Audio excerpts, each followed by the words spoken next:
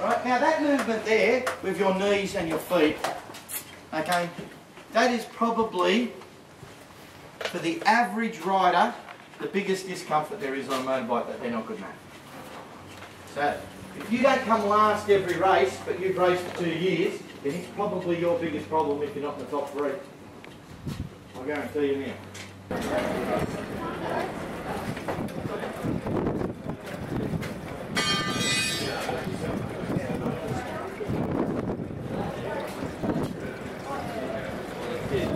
Thank you.